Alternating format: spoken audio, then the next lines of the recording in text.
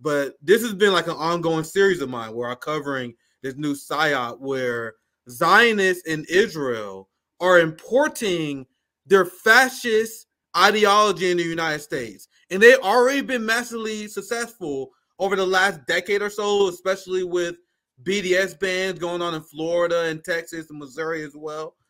And now, after the Hamas uh, genocide that they're doing now, the genocide in Palestine that they're doing right now, the public opinion has shifted against Israel to the point where they say, okay, guys, we can't do this thing where you're half in and half out. You're either all in on Zionism and full fledged anti free speech fascism, or you're not with us. We will primary you. And obviously, all the people who are pro Israel, all the AIPAC sellouts like John Fetterman and Richie Torres, they all for it. They're not going to fight them ideologically. They're going to, whatever you say, I'm down for it. So that's my preface, CJ, because we, we just go slightly out of order. I don't want to throw your, your groove off. So, uh, CJ, no, that's perfect. Uh, Zion, it, it, Israel is importing their fascism. And the Harvard pr- president essentially went up there and said, I don't agree with the people who are against genocide. I think they're deplorable, but aren't we supposed to follow the Constitution? Isn't that what we like? Aren't we supposed to support free speech? And she says that, and they fucking freak out, CJ. Yeah, yeah. anyway, that me that my preface. I'm spoiling it a little bit. But I pass you, CJ. I'll let you continue from here. No, that's perfect. I'm glad. I'm glad we're covering. It's like like like we're we doing we doing it so long that we do this all the time, overlapping, yeah. and that. But this it works out to our advantage, which is good. So let's listen to this. So now I'm going to just rewind it from the beginning since this was part of what you were going to cover. So let's listen to what this yeah. insanity that this lady comes says on here. Crazy. Let's bring into the conversation Israel's special envoy for combating anti-Semitism, Michal Cotler Wunsh. Great to have you with us this morning. Uh, Hanukkah starts tonight. We also should point out. Um, I'm just curious about your reaction. Um, we're happy that President Magill maybe saw the light and came around and put out that statement, but to say I wasn't prepared you're not prepared for the question about whether calling for the genocide of the Jewish people constitutes bullying on your campus is a little bit uh, of a tough one to swallow. So I'll say that I actually went to uh, brief the entire committee yesterday as a follow up to the hearing. And I think what Rev was saying is actually the most important. And in the introductory um, comments, what we have to realize is the nature of the double standard actually collapses the entire principle, right? These are mm. universities that created diversity, equity, and inclusion infrastructure that applies to everybody, except for if you're a Jew slash Zionist slash supporter That's of Israel. Bullshit. You, you see there? You see there? We were going to stop it in the same place. And they, you see right there how she's conflating Jews and Zionists right there. She's saying slash Jews slash Zion. No, no, no, no. That's completely different. Now you go ahead, Nick. You were gonna say something too. Go ahead. No, this is infuriating. I want to let I want to let it play because I want to okay. hear her, her, full statement. But you guys see, they are dragging us into this fight. Why the fuck they bring they bringing black people into this shit? You know what I mean? So Zionism is a political philosophy. It's a political ideology. You believe that Jewish people have the right to commit war crimes on whatever people necessary in order to create a Jewish state. That is what Zionism is. So what she's saying is, if you don't agree on a political ideology, you're against the Jewish people, and the college campus should do something against that. And she claims that there is a double standard where black people are protected. CJ, what black political ideology is protected under the threat of suppressing the free speech? Imagine uh, if black people actually, with a serious fucking face, went to CNN, MSNBC, and we proposed that anyone who does not support reparations should, should be labeled anti-black and the free speech should be suppressed. Can you imagine how fast we'll be laughed out of the building if we advocated that? Advocated that. But these, this is what unhinged Zionists are saying and trying to in, in, in export to our culture with a serious face that we got to align completely with a, a, a segment of the Jewish population who believes in Zionism, and if we don't support their political aspirations, that we are some, somehow anti-Semite. So if you're not if you're not for reparations, or you're are you an anti-black bigot? If you don't support every single ass I have politically, does that make you anti-black? That is what these children in both parties are saying right now. Let's continue. Perfect. Um, right here.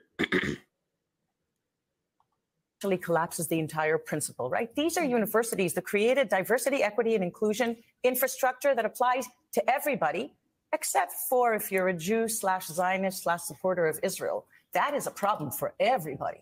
If we collapse the infrastructure, they got congressional standard, hearings. anybody, right? Today, it's the so not supporting genociders collapses. What are they called? DEI, diverse and equity so so genociders want to be Nick included in this multi they want to be included in this sort of melting pot uh, of of uh, like it's a it is completely absurd to say that's like saying Nazism. You're you're not going to include us? DEI? That's essentially what she's saying.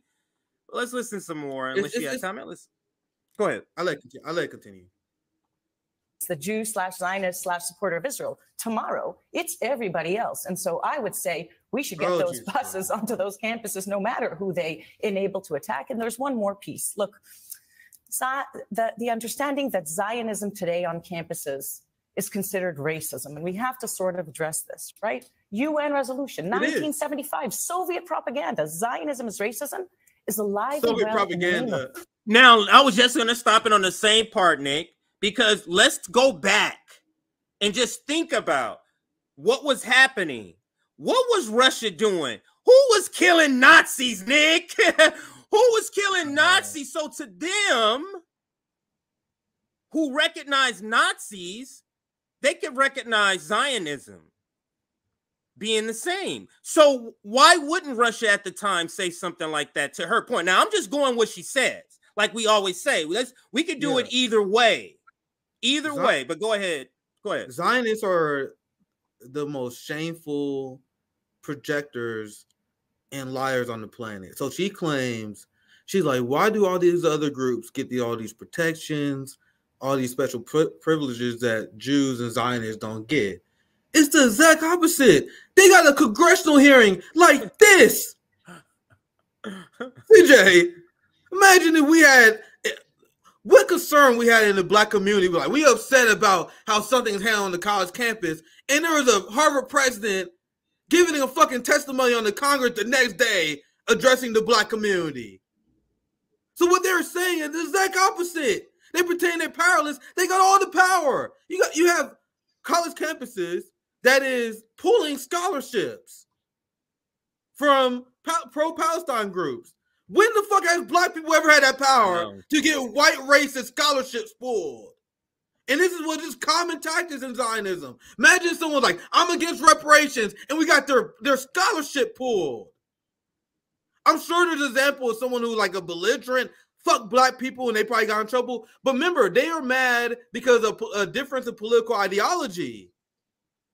So there are people who are against Zionism and the existence of Israel, which is a political ideology. Imagine if you lost your scholarship and you was retaliated against because you was against reparations, which is common, which is like 70% of white people.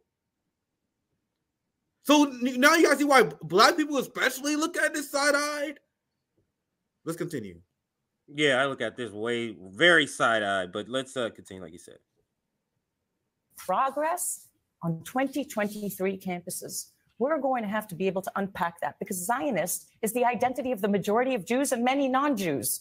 I cannot just. That is a bold faced lie.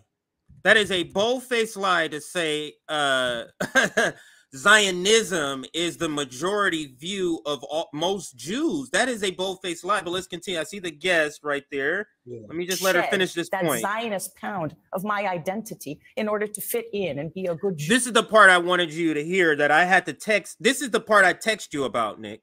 And that's why, and then we'll we'll get bring our guest in.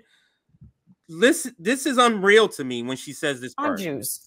I cannot just shed that Zionist pound of my identity in order to fit in and be a good Jew or a good human being.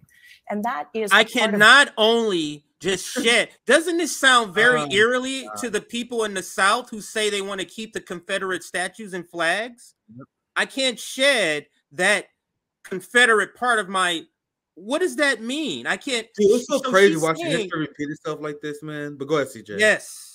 Yes. And I'll bring this down. We're bringing our guest, but she's saying, I can't shed uh, that colonized. Zionist part of my my Nazi side of me in order to be a good person.